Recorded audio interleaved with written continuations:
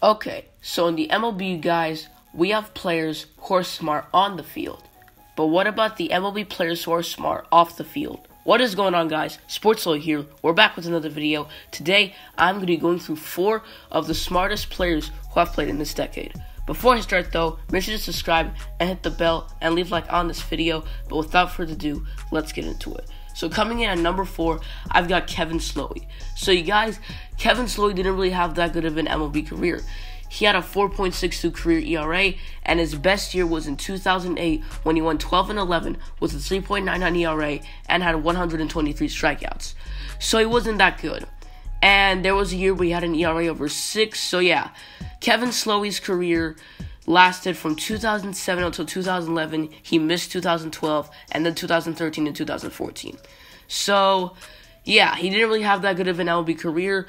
However, when he was in school, the guy was actually pretty smart because it says here that when Kevin Slowey was in school, he get an exceptional 1,420 points on his SATs. So that's really good. And if you want proof, let me tell you that that's enough to get you to Harvard or Yale. And getting into Harvard or Yale is hard because they're really good universities. So when Kevin Slowey was growing up, this guy was actually pretty smart. And he ended up going to the University of South Carolina. So, yeah. But he wasn't that good of an MLB player, so that's pretty much all I have to say about him. So at number four, Kevin Slowey. Coming in at number three, Chris Carter. No, not the Chris Carter that I made a video on. Another Chris Carter.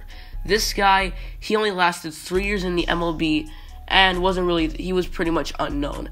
His best year was in 2010 when he had a 263 batting average with 4 runs and 24 RBIs. And his position, he was a outfielder, but he was really a pinch hitter. And the teams that he played on were the Boston Red Sox and the New York Mets.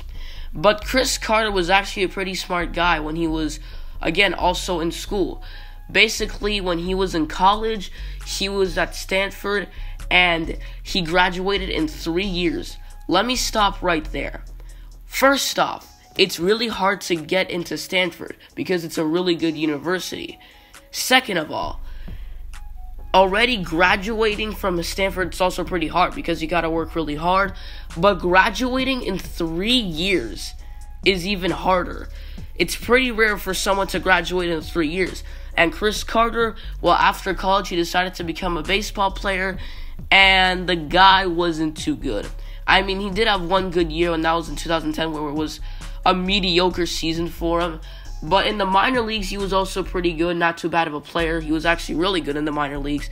But he basically never turned out to be a good player in the major leagues. So, unfortunately for Chris Carter, the guy was good in the minors, but wasn't a guy who was really good in the major leagues. Coming in at number two, I've got Craig Breslow. Now, you guys, people are saying that Craig Breslow is the smartest player in MLB history. And like most of these players on this list, the guy, he had actually a pretty good MLB career. He probably had the best career out of all these people. He, he had 23 wins, 30 losses, a 3.45 career ERA, and had 442 career strikeouts. That's not too bad. And here's why Craig Breslow is called basically the smartest player in MLB history.